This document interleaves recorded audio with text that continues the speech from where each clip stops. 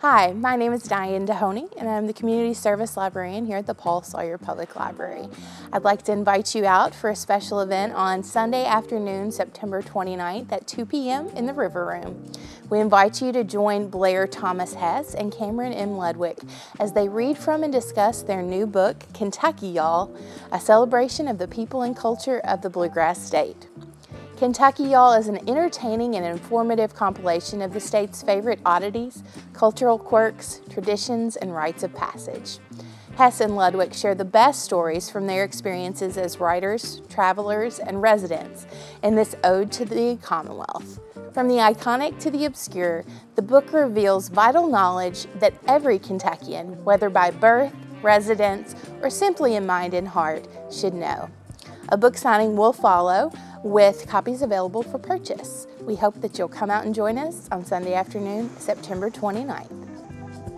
So recently we've started a um, teen event series that we're doing uh, during the week.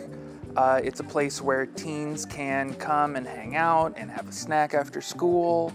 Uh, if they're waiting for a sports event, they can come and hang out here before that, before they have to get on the bus or go to practice. We'll have snacks, some chips. We've got events and other kinds of activities. We'll have a switch out every now and then.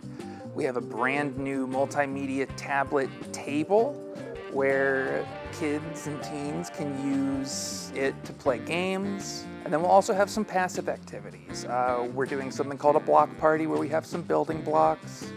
We've got different science experiments that we're working on. Uh, we will be making uh, potato and lemon batteries in the next coming weeks. We'll also have some coloring books just so you can sit out and color and just talk with your friends.